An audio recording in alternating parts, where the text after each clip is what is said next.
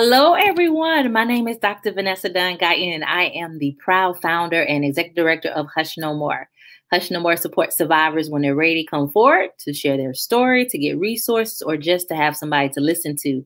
We also provide training in our communities on what we call the hush topics sexual assault, domestic violence, sex trafficking, child sexual abuse, incest, all of those topics that families, organizations have a hard time discussing, but we need to.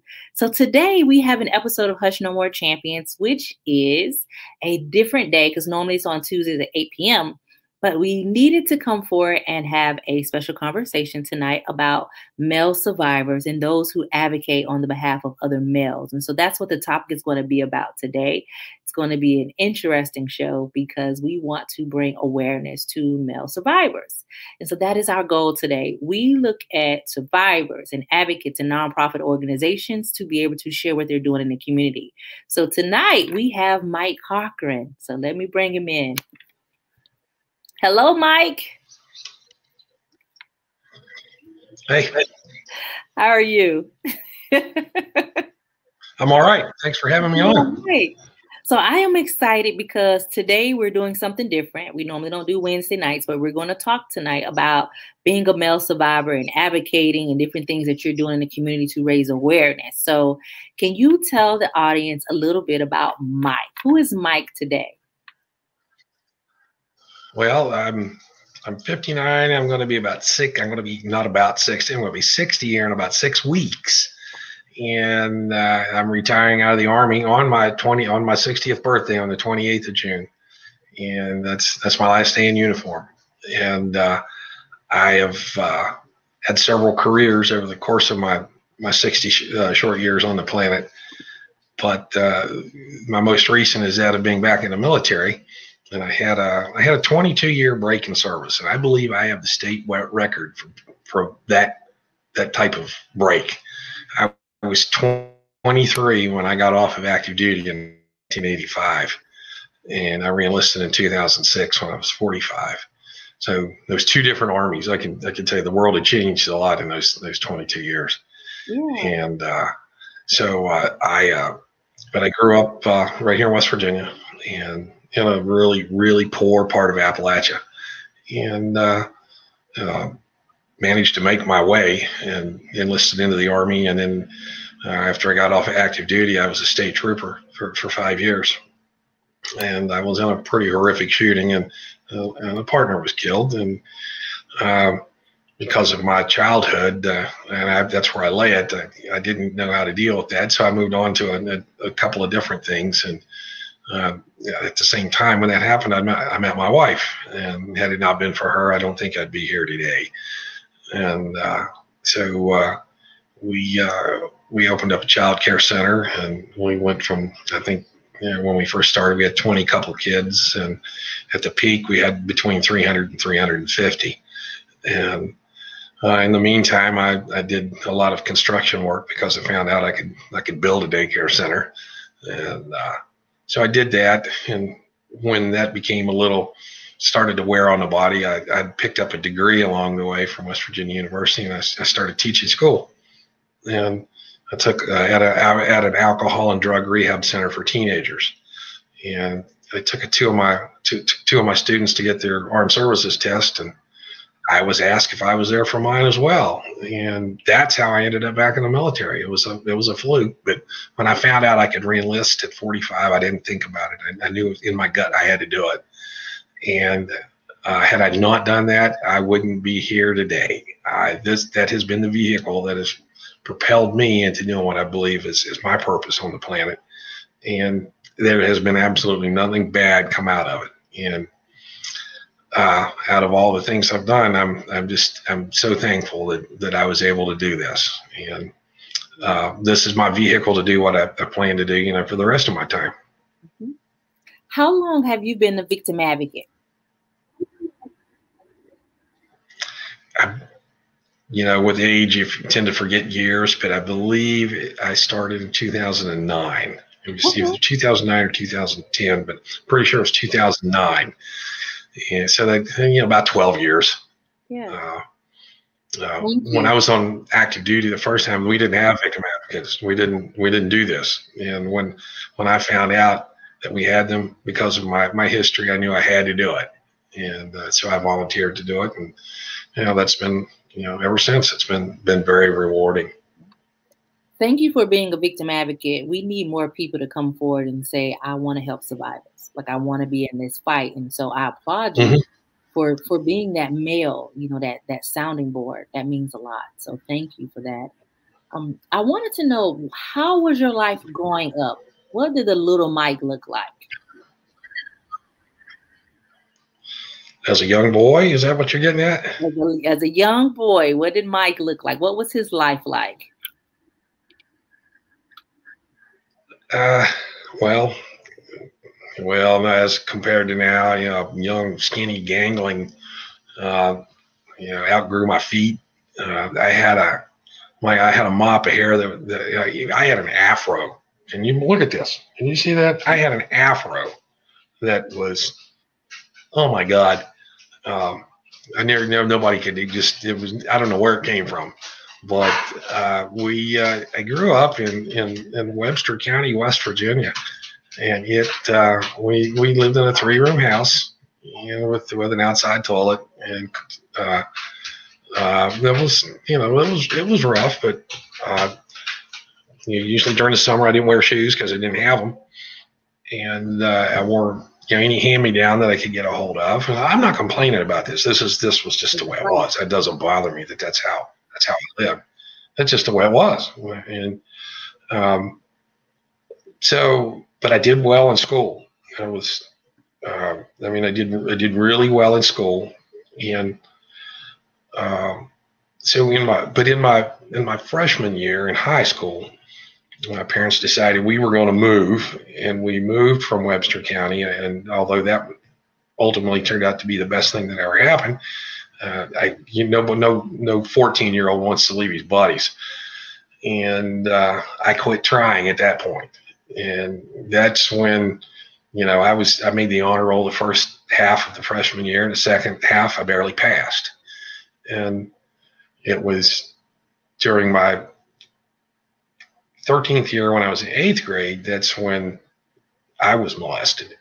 So, you know, through high school, I just I just eked out an existence. I you know I was I was going to quit school uh, at 16 and uh, so but when we moved from that that little house we we moved to, to another county and i thought we'd moved up. We moved into a four room house with an outside toilet.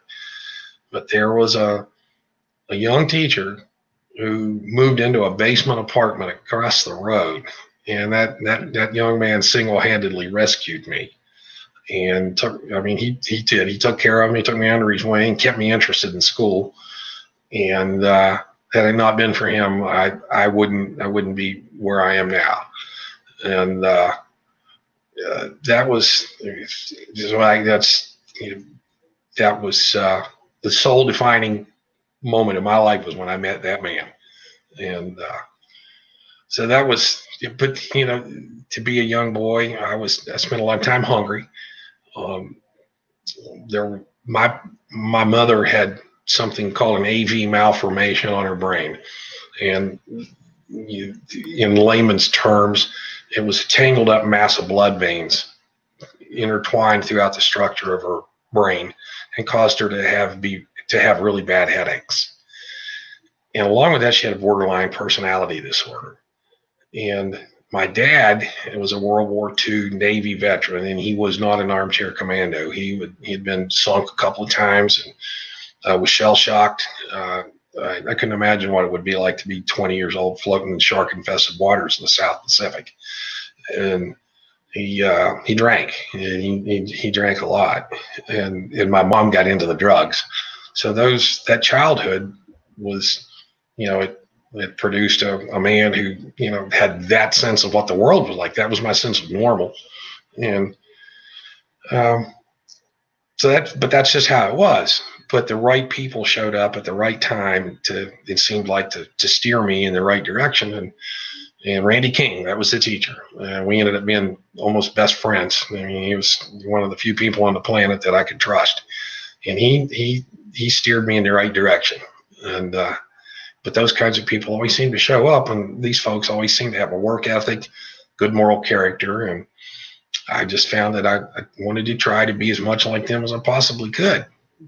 So uh, everything that I wasn't getting from within the the construct of the nuclear family, I got from without that construct, and you know it was a it was bumpy, even though, but you know I it, it, came out okay. I wouldn't trade what has happened to me to, to be where I am today for anything. I had the right parents to be who I am. Right. And so, you know, I can't, I just, I'm happy. I'm just. And a great. So, as a child, you mentioned your molestation. Is that something that you want to talk about yeah. today, or is it something that you like to share with other men? I, I always wonder if men can relate to other men as it comes to child sexual abuse or any type of sexual assault for men. And I think it's important to be able to hear, yeah, I went through some stuff. Uh, anecdotally, I don't have any data, but I, I, know that from my own experience, when I do a training or something like that, I found I find that guys really haven't. It's much easier for them to talk to somebody like me. Mm-hmm. Um, so especially when I, you know, when I talk about the type of, molestation that I had gone through. Um, so it's like, you know, they will find out, you know, if, if, somebody like me can stand up in front of people and talk and, and not get too rattled about it, then, then all of a sudden it gives them the courage or instills in them the courage. They already had it. They just didn't know it. Uh, they're just, you know, finally not, not afraid to use it and uh, so that's it's very it's very rewarding. But you know, to to talk about what I what happened to me, I, I'm you know I'm always willing and open. Um, I'd never say it's easy, but you know, after 20 years, it's it's it, it's easier to do. I guess I should say it's not an easy thing to do, but it's easier. Mm-hmm. But uh, it was uh, you know, I was molested by my mom at 13 years old and that's of course I was I was going through puberty, and I was a fairly big 13 year old. Um, at the time I was 14, I was hairier than my dad, and uh, but you know looking back, I can I can see things. You know, I, at the time I didn't know that that's what was going on, but you know I could see the the things that she had done were grooming, and you know for instance you know bathing. Uh, she would uh, tell me that I was I was getting hair on my face, and I'd, she'd help me shave.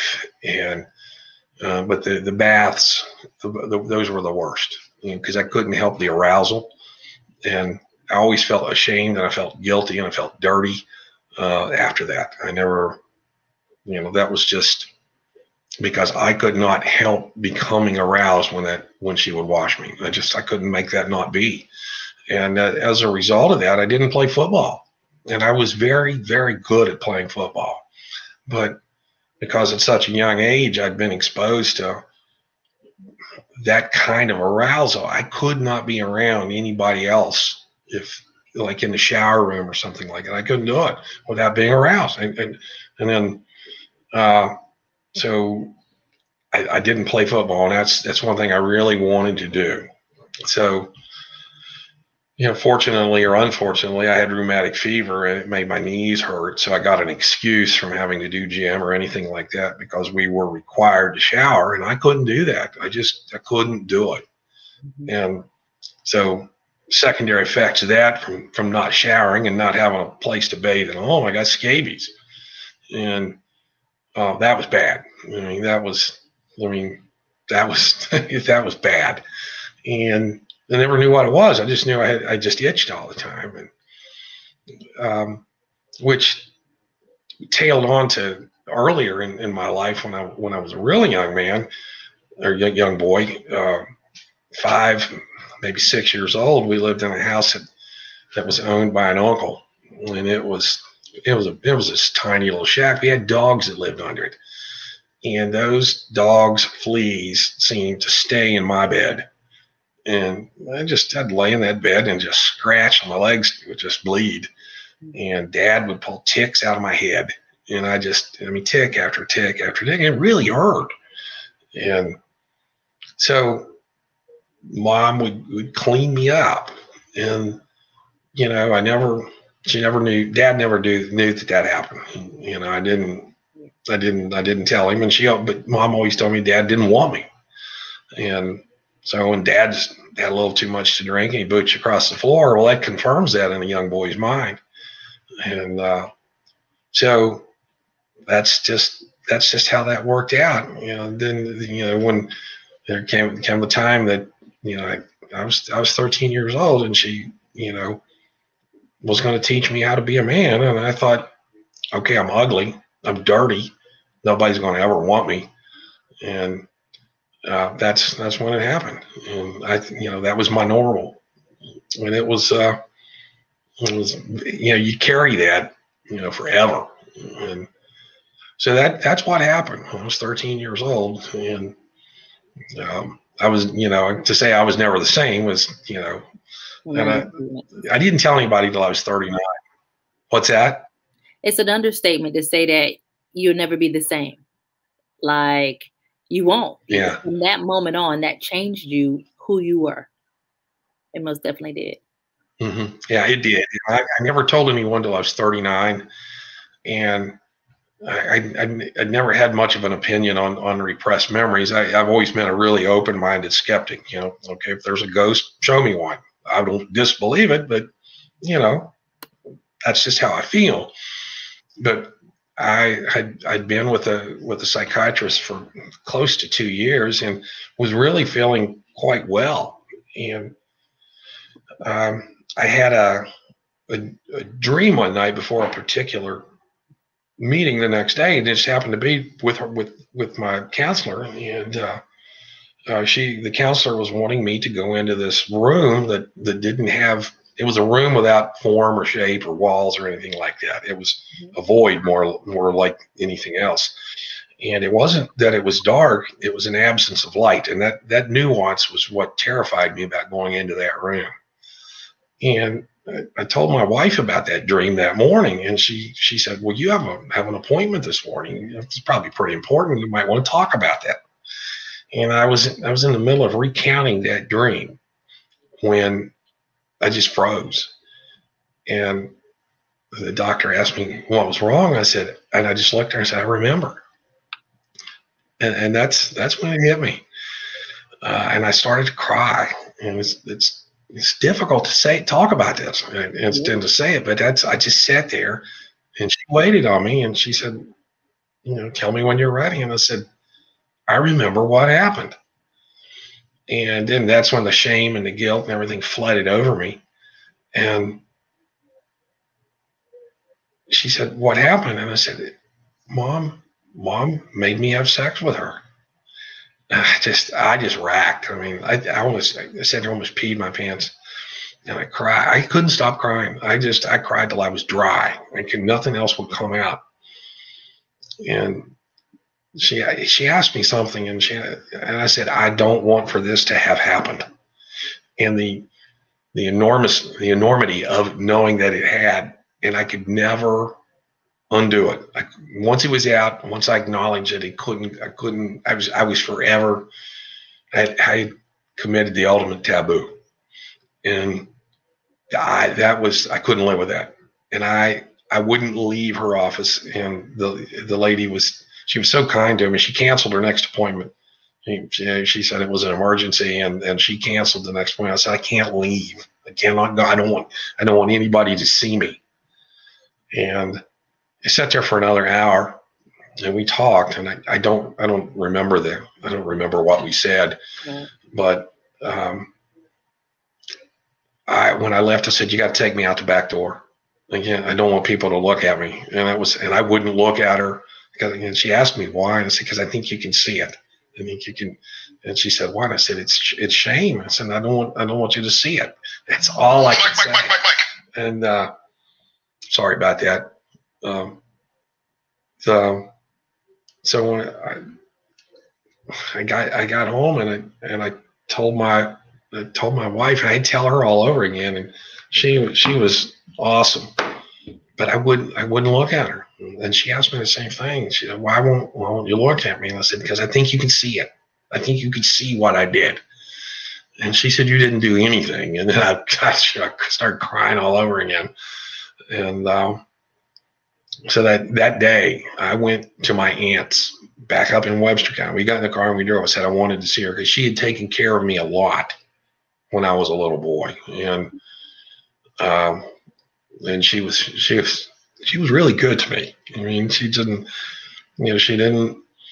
She she said it wasn't your fault, and she just was. She said, "I just wish I knew." And I said, "You know, who's going to believe? who was going to?" I didn't think I had anybody to tell, yeah. and and the reason was I had, uh, you know, I told you that mom had the that malformation on her brain. Well, dad had also fallen off a garage and, and broke his back and there were times they were both in the hospital. I thought they were both going to die. And we're talking from time I was 12, 13, 14 years old. I, I thought they were going to die. And dad was really messed up. And, and mom had this thing on her head. So I spent, I spent a lot of time alone.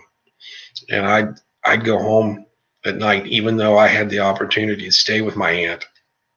There were some nights I was so, I was so hurt that I would I was too ashamed to cry. So I would go home and I'd stay alone and I'd curl up in the bed and I just I just lay there and bawl. I'd just cry all night long.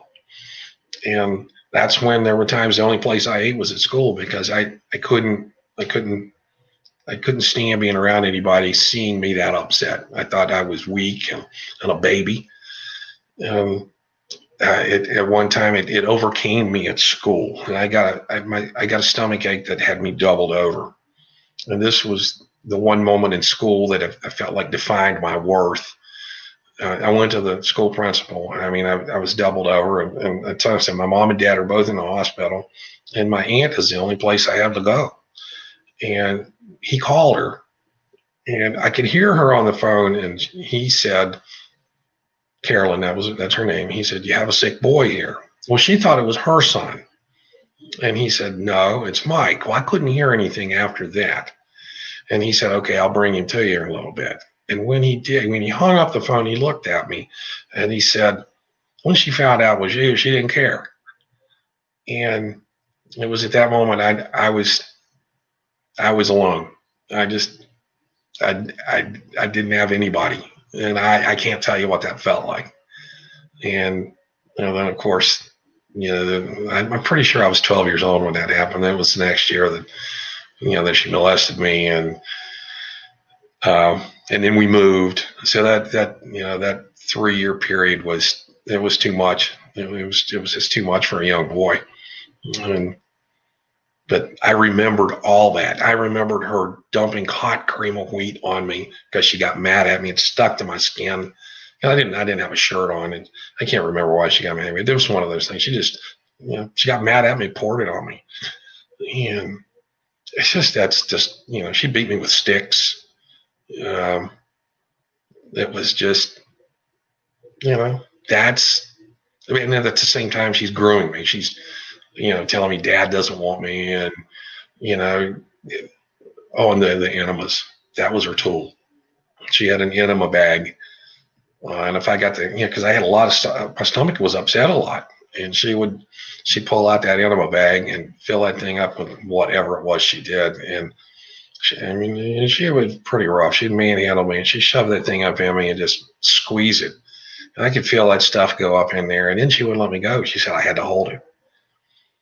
And sometimes I could break loose, so I'd run. I mean, I'd just run to, and, and that stuff would come running out of me on the floor. And I have to clean it up and that's just um, you know that was that was all that was just how mixed up it was and i brought that into adulthood you know and uh, tried to you know just survive that's really all really all i could do I know that was a lot, but that's. Well, uh, I want to tell you in this moment that I honor you. I honor you for saying that I'm going to share my story. I honor you for walking in your truth.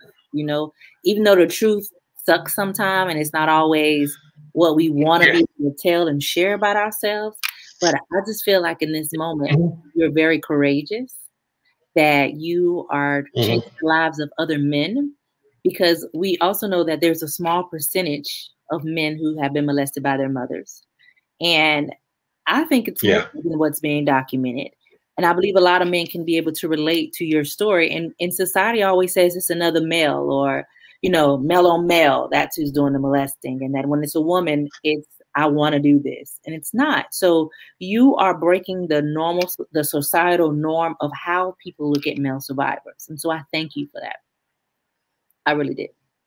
Well, I, I, appreciate you saying that. And, and I, I, I, I don't know if you know Dr. David Lisak or not with one in six, but he came here to interview me uh, to my home. And, you know, he's, you know, he, he has a past as well. And, uh, in, in all deference to anybody who's had anything like this happen to him, whether it was you know but done by a man, done by a woman, or or, or whomever, uh, what what I'm trying to figure out how to parse this so it sounds respectful to anybody.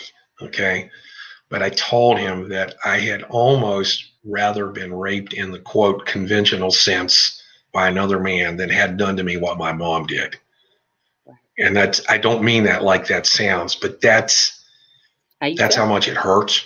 Mm-hmm. I, I, mean, that's just, and God knows that you know I, I know a lot of men who have been raped by by men, and I know what that did to them. So I don't, in all deference to anybody, that's because there's no there's no gradation of trauma. It's all what how how it is to you is how it is to you, and that's uh but that's what I told him. And uh, I don't I don't like being in that percentage, and I, I, I abhor the and it gets used. All right, so I'm going to I'm just going to come out and say it. You know, everybody uses says uses the term motherfucker, and but I feel it, and I feel it on mother. You know, we just had Mother's Day. I feel it on Mother's Day, and so I can't. You know, to those women who've been been assaulted by men, I, I can't imagine what that what that must feel like because I know what I feel like, and I to it just it hurts me for them, and um, so I do whatever I can. And, and not being a trained counselor or anything like that, I, I just you know open up myself and you know let them know that this is some place they can go. And a lot of times they'll come to my garage just to talk because you know I get it. You create a safe space so that's important. Uh, i do want to know do you think that somebody could have did something to protect you? You know i've looked back and i, I try to recall who i could have gone to and you know my mother and her sister were they were pretty good friends not just sisters but they were young they were my mother was three years older than, than her, and she was the baby. And so their their closeness, I don't think, I think is what kept me from saying anything at the time when I look back. But we didn't have um, social service agencies. I mean, we did, but I didn't know anything about mm-hmm. that. I didn't. I don't know who I would have told at school. You know, I was already you know, mocked and made fun enough, uh, as it were. So if there was anything, I don't know who I would have gone to. I don't, you know, in my small world, there wasn't anyone I could tell. You know, I ask you that because I want parents to know that children do not always feel like they have somebody to tell even if you have a parent or a family member that's saying, "Oh, if anything happens, you can talk to me," or they have the school or they have these systems in place, you don't always tell. You know, so you really have to pay attention to what's going on with our children, and it's hard when it's another family member.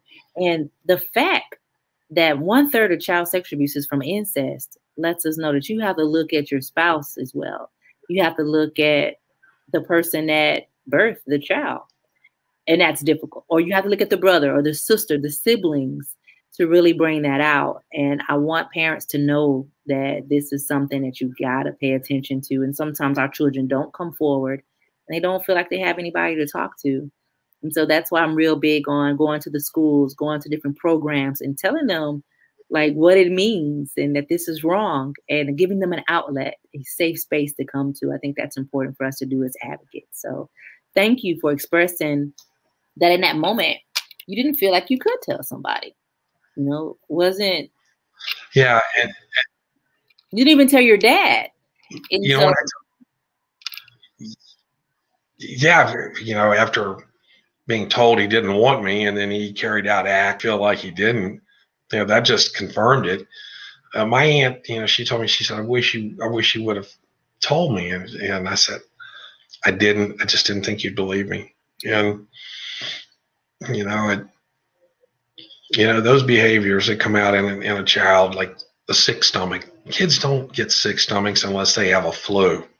If a child's got a sick stomach, something's wrong. And, you know, that nobody recognized that. And I, you know, I got myself up, I got my clothes on, I brushed my teeth as best I could, and I would go to school. And I was a joke a minute.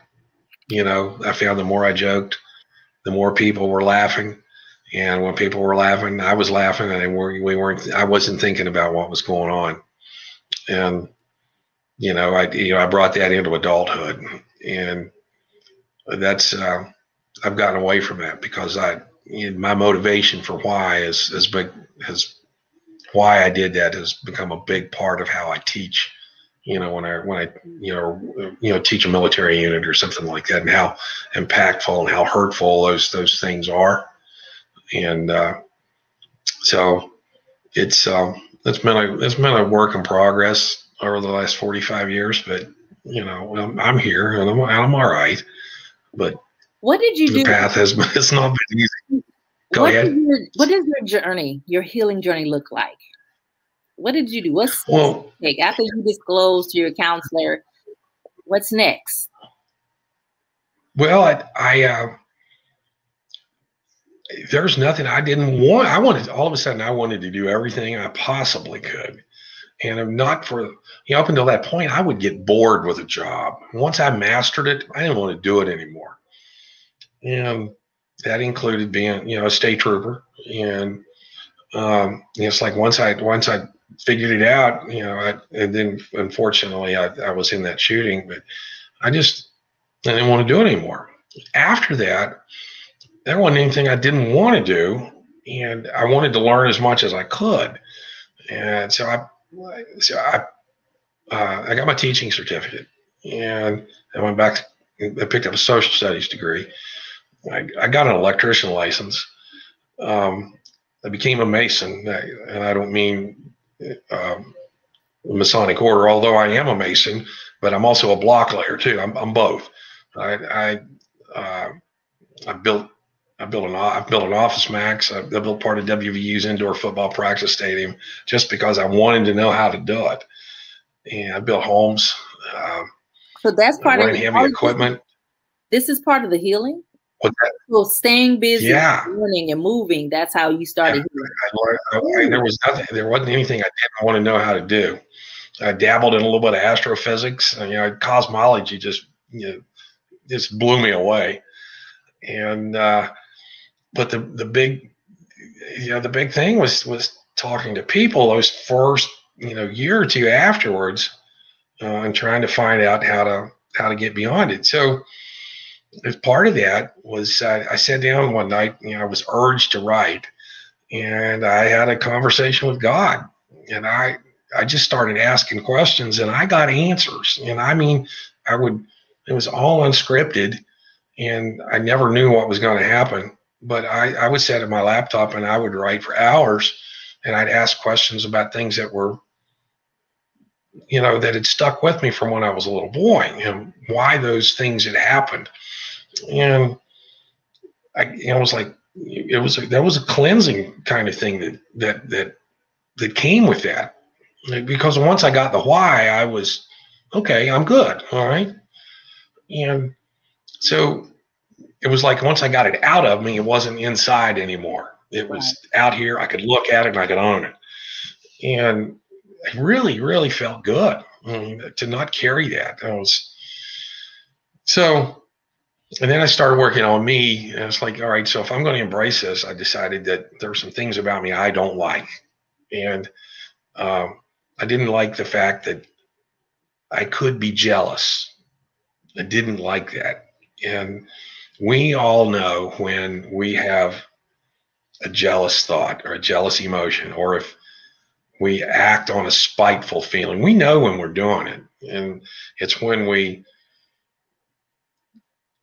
we say that we don't, we're living contrary to who we are, um, and we lie about it. It's like, well, that's not how I meant it. You know, we know when we're being jealous or spiteful or envious. We know that, and every time I caught myself being envious of somebody because they had something or they're, it was usually a thing because I grew up so poor that that you know I, I, I didn't have anything. You know, we never had a car, we didn't have TV uh, it was easy for me to be that way. And I was like that. So I started working on that. And every time I caught myself being jealous or envious of somebody or something or some job that somebody had, I would stop and I would talk to myself and acknowledge the fact that I'd, I'd felt that way.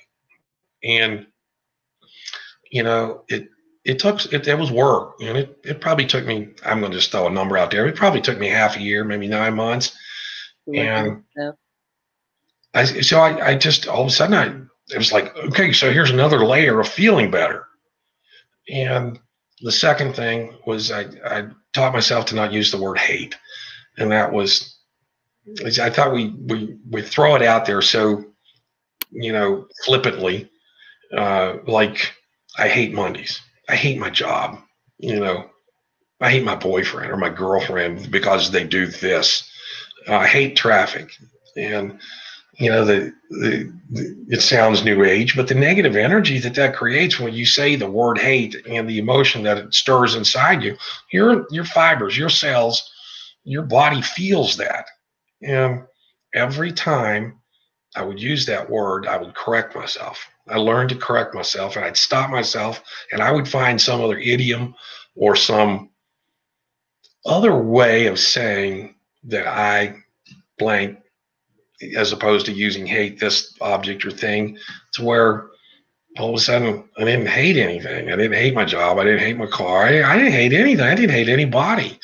And I learned that uh, all of a sudden that was a pretty good world to live in, not in spite of what had happened to me, but because of it.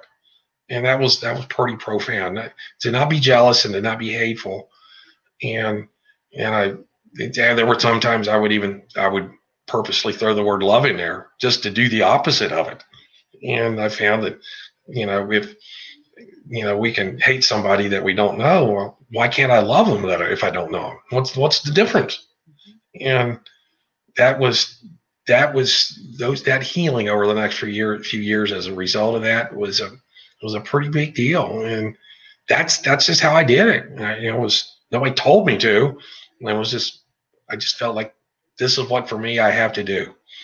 And so it, it, it brought me to, it brought me out of being a jealous, racist, bigot, bigoted, homophobic, spiteful human being who oftentimes had, was pretty caring and pretty giving, but I had those traits. I didn't want those anymore. I didn't want to be that way. And before I go any further, I, I, need to acknowledge that, you know, Randy King, the teacher who rescued me, you know, that guy had the biggest impact on me of, of anybody else. And it ties in with this was it when I talked to Dr. Lisak about it, he, you know, he called, you know, he talked about phenomenology. And, you know, I said that about, you know, the way I grew up and how I behaved as an adult, know, being racist or homophobe, you know, cracking jokes. And, you know, I, I used a racist term when I was 16 years old in front of Randy. And he turned and looked at me and he said, What's that?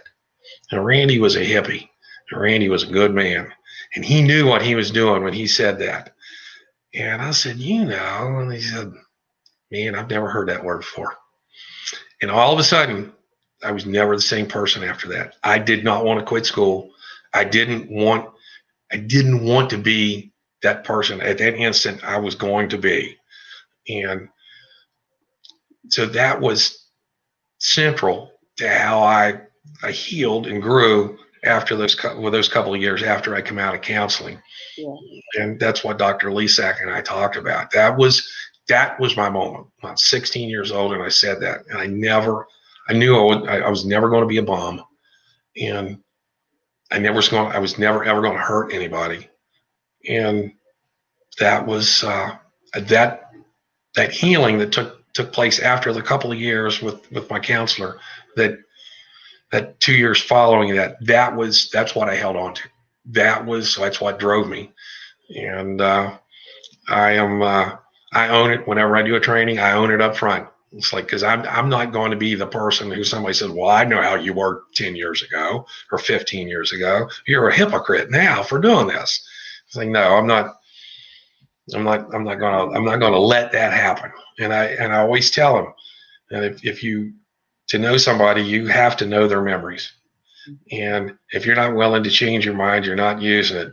And when you know better, you should do better. And I tie my my story in with that training because there are so many people. If you have a unit of of a hundred hundred men, and one out of every six of those have have have been that's just a, a guess, you know, been molested, that's 15 to 18.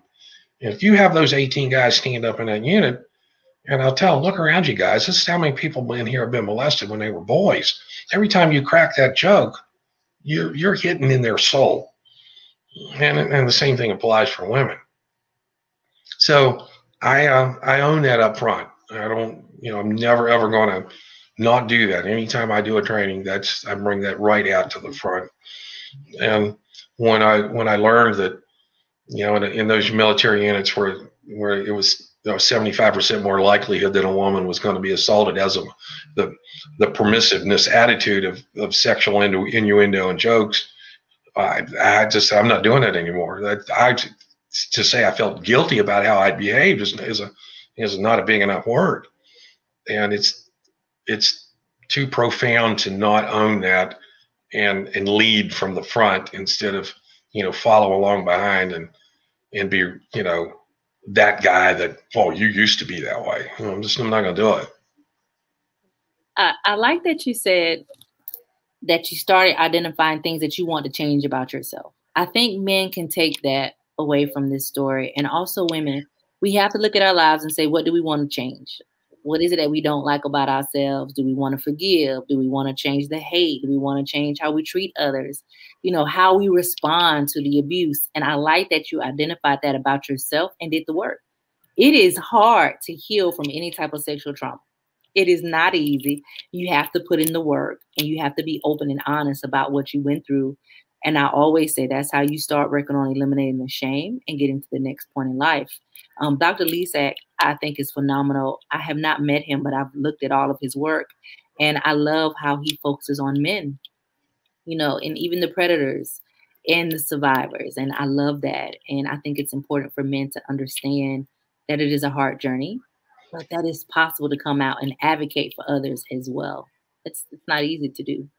Mm-hmm. Well, you you said that about you know you you, you know the, the male survivors and well as you said and, and you said ultimately believe you said perpetrators as well because yeah. it's you know he's working prisons yeah. and you know he, he he's talked he talked to me about uh, you know men who've been in there forever and they're not the same person.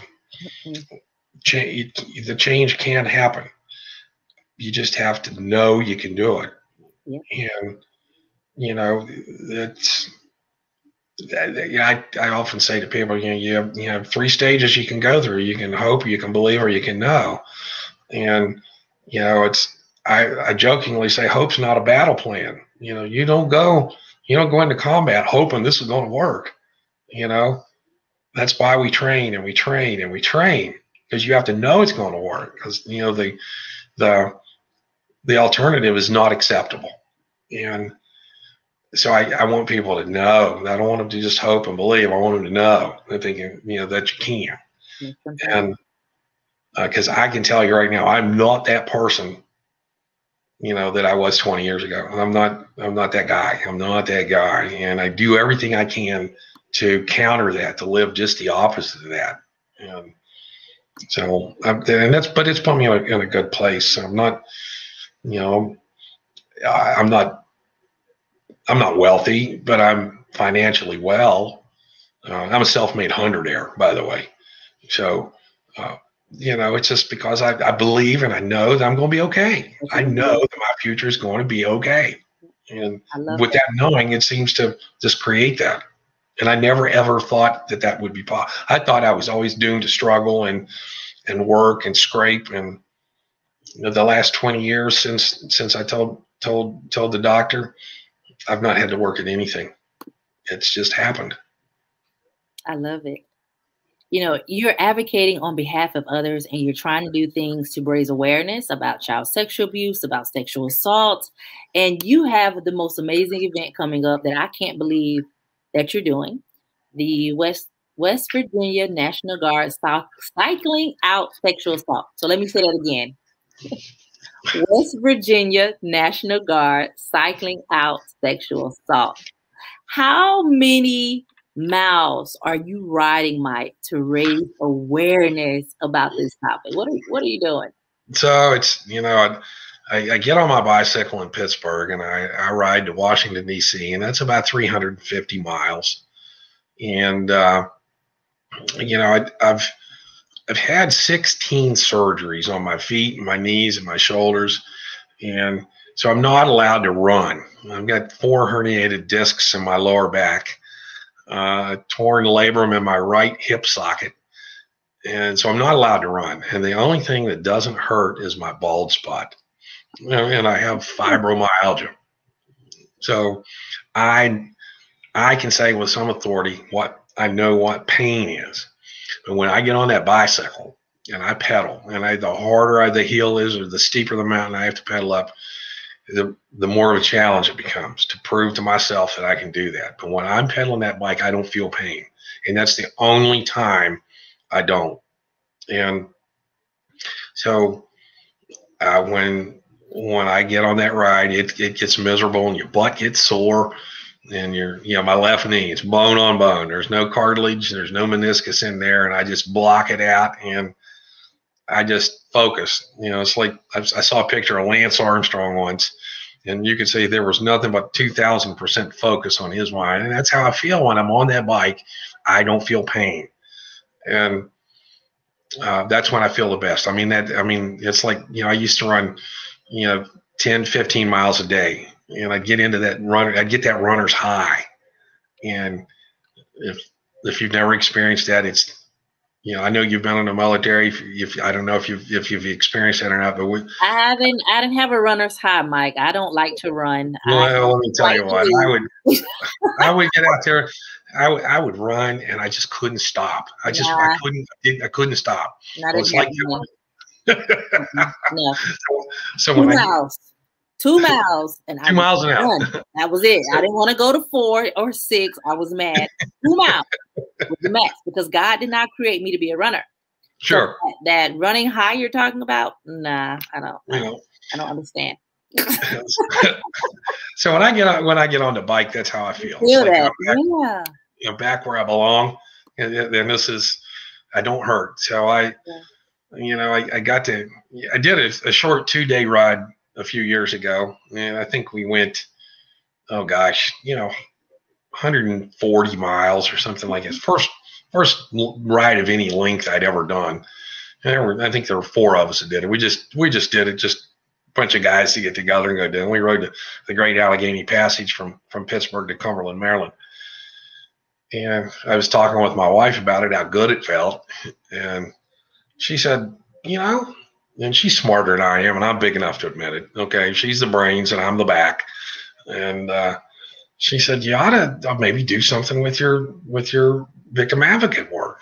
And I said, "Maybe I should do a bike ride." And she said, "Yeah, that's what she was thinking." And so that's how it started. and uh, I just I got the idea, and I called our uh, state SARC, uh, and I know you know what that is, but it's the sexual assault response coordinator and she just thought it was a wonderful idea, and she got behind me on it, and you know, give me a lot of help on doing a flyer and and how to, you know, she helped me with with the public affairs, getting a, you know, getting a flyer out and getting a little bit of public publicity on the face on the state's Facebook page. so when we started doing it, uh, I have my niece, and she belongs to SAND as well. Uh, she she I asked her to start publishing uh, blurbs about uh, you know rape, domestic violence statistics. Yeah.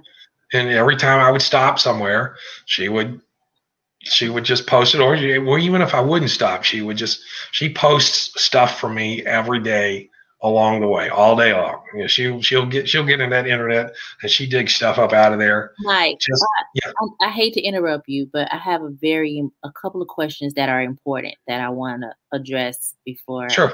we go through the bike. Um, Norman wants to know: Is abuse a choice, and can illness influence it? What do you think about that? Do you think that people can't help it sometimes? I do. Yeah, I don't have. Again, that's I'm not a I don't have data to back that up. Well, so, from the not data, but just from your personal experience, from like with yeah, your mom, your mom was sick. Do you think she had a choice? Wow, you know, I, I gosh, I don't know. Um, the fact that she did it makes me feel like no, but in that little boy's eyes, she did. That's the adult in me who understands how what can happen with a mental illness I, I you know I, I, can understand how that would have had something to do with it. I don't know if if parents with borderline personality uh, are given to that kind of, of behavior. I, I don't know. Mm-hmm. and I, it seems like there are four types of borderline personalities. But um, you know, with uh, when it comes to children, there's something wrong, inherently wrong with somebody that does that to a child. And you know, I've I've heard of 13 year olds doing it to six year olds. So, you know, that's a child on a child. You know, and I don't know what has maybe set up a 13 year old to behave that way, but I think that that's not without some merit. I think that you know the fact that an adult can do that to a child is something's not right. Uh, but uh, that's a that's a that's a tough one to grapple with. You know, what what it does to the child, no matter whether they had a, whether the adult could help it or not, is just you know why they need that protection. I guess. Um, was there a second part to that question, or one? That, yeah, um, you answered it because I don't think you ever thought about did your mom have a choice. You just looked at your mom did it, period, and yeah. it was wrong.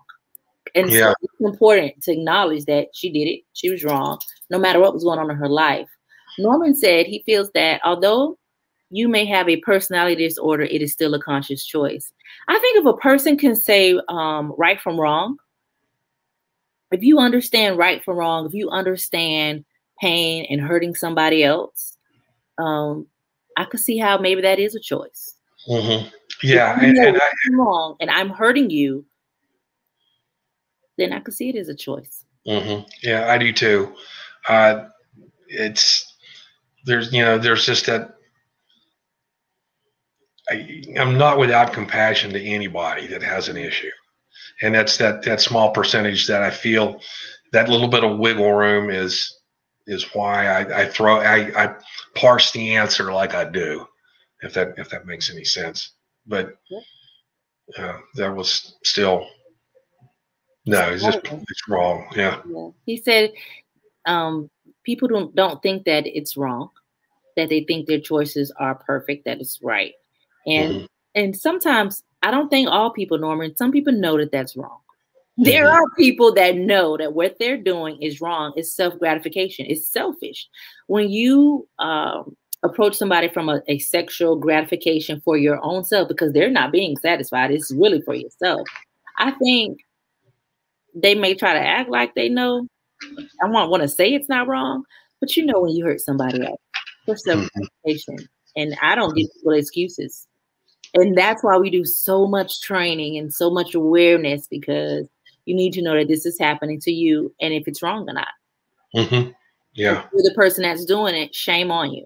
You mm-hmm. hold the shame and not the individual that you're abusing. And that's that's my standpoint on it, Norman. Yeah. I believe you got the ability to say right from wrong. you understand that and you know that it's causing pain, you're wrong.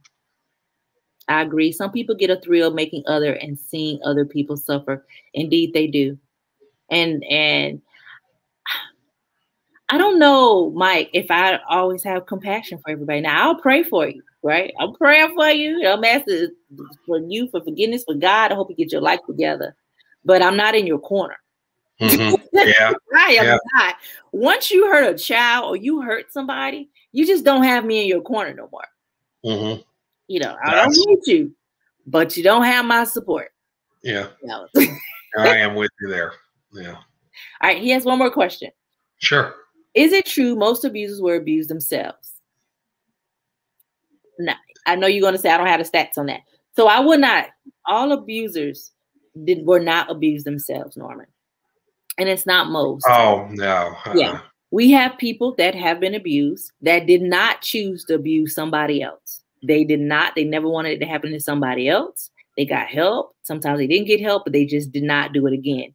Then you have people that have been abused that makes the decision to abuse somebody else and do the same thing to them. And so um, it's not that all abusers have been abused before. Some people just take advantage of others. And like I, I said, self gratification. It's, it's harmful and it's taking control over somebody else's life and it's wrong. So when we look at abusers, all of them have not been abused. People make a conscious decision, like you said earlier on. What do you think about that, Mike? Just from eh, you're you're dead on the, the the you know the I that's something that I do know. The, okay, the, so you got to set on that. Okay, yeah, the numbers the numbers don't support that. The abusers, those those who have been abused, t- statistically don't become abusers. No, nope. they know what it's like. That's you know there are a lot of them who have, but no, that's a that's a that's now, a that's a falsehood he said if you look at most abusers, serial killers, they have a troubled childhood. But a troubled childhood is different from abuse. Well, that's right. and, you know, all different types of childhood, different things, you know. So it's it, not it, that. Yeah, if you go with that, you know, my childhood was trouble. I should be a deviant.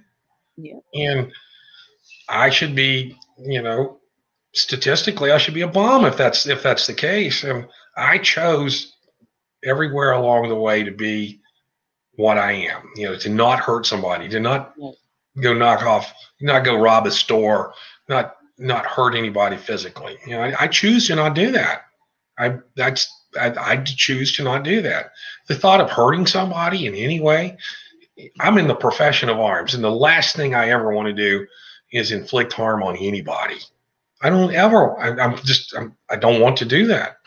So I make that choice and you know somebody decides that they're going to you know you know rob a store or you know uh, mug someone they're making a choice to do that they're deciding i want what they have somebody breaks into my house that's because they want whatever it is i have in here they chose to do that and so that's the bottom line that's what i, I i'd say too you're choosing um, now, people have been abused and they become abusers, but mm-hmm. that is not majority. That is not always the norm. No, people do have trauma, different types of trauma in their lives. That's not child sexual abuse.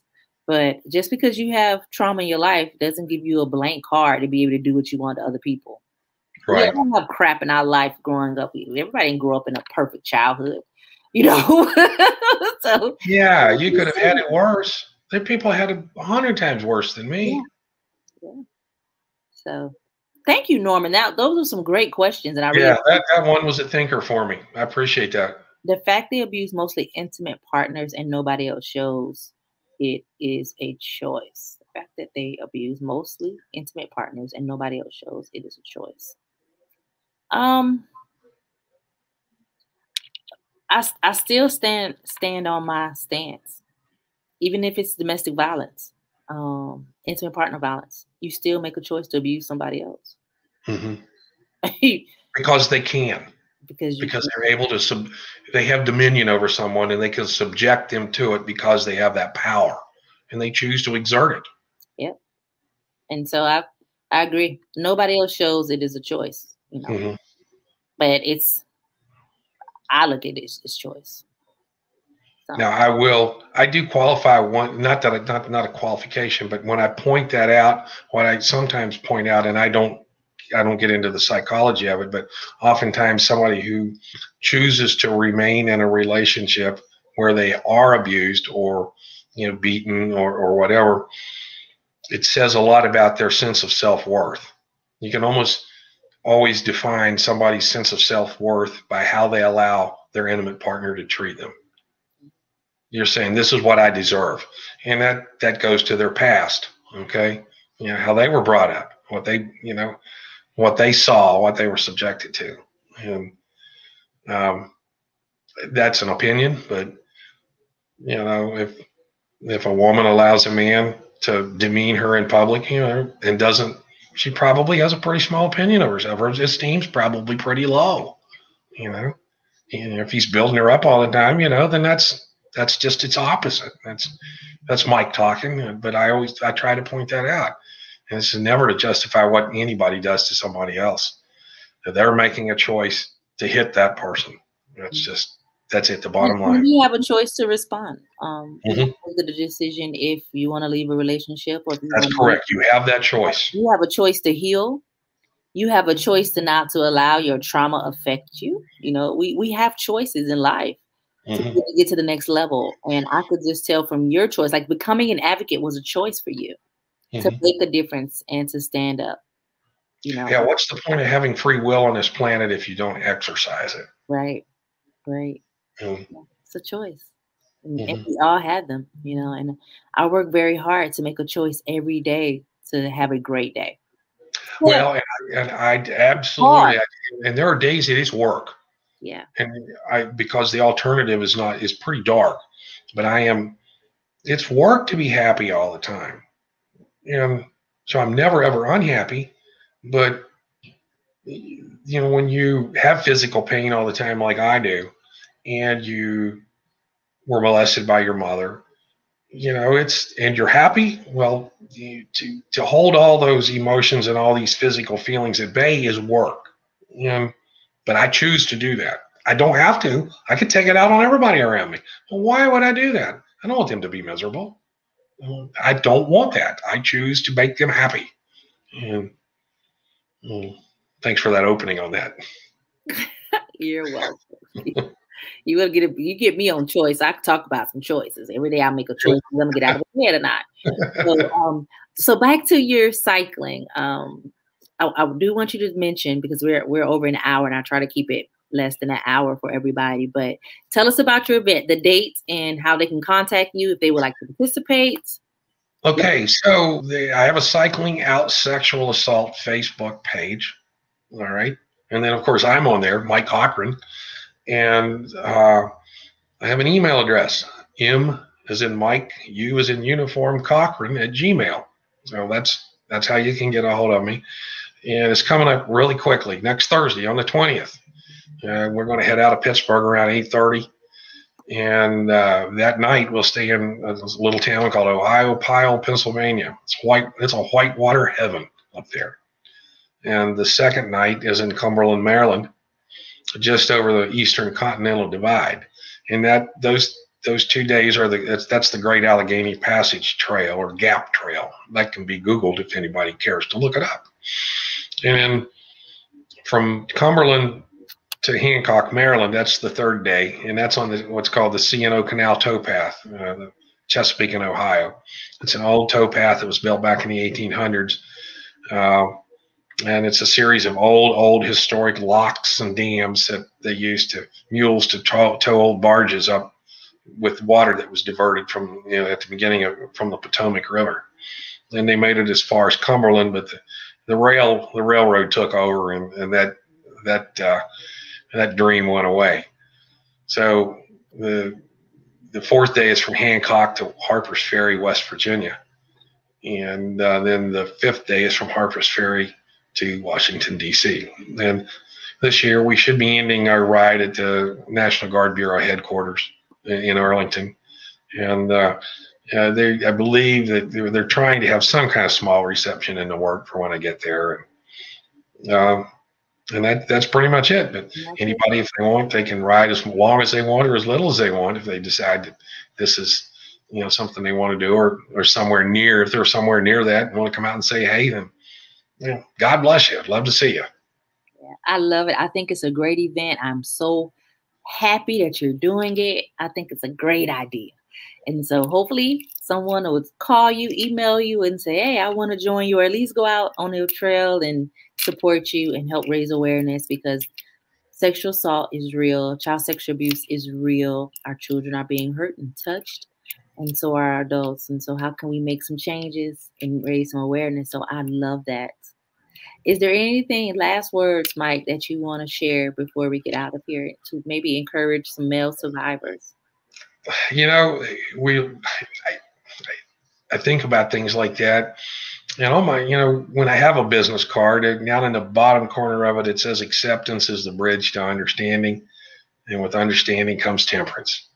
And, you know, we spend our whole lives trying to run away from things that happen to us. And when I accepted what happened to me, and then I understood it, and when I understood it, then my emotions became tempered, and that's the only way you can heal. You know, you you have to go through those steps. You know, uh, if you're willing to do it and do the work, then you know if if a wretch like me can do it, then God knows anybody on this planet can.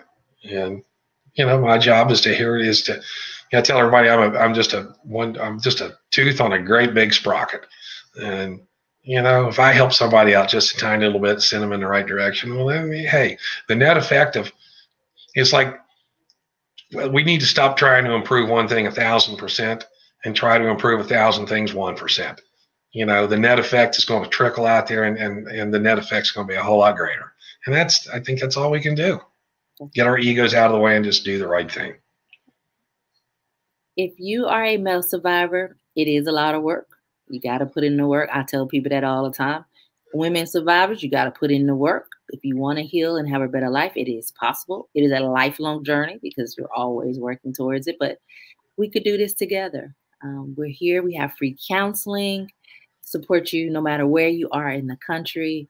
And, and it, counseling really does work. And if you are in counseling and you don't like your counselor, don't give up. Find another one. If you've been in counseling before that didn't work, don't give up. Find another one because you could find a, a counselor all over. And we have counselors on our staff too that's able to help you and just get you to that next level. So I appreciate you.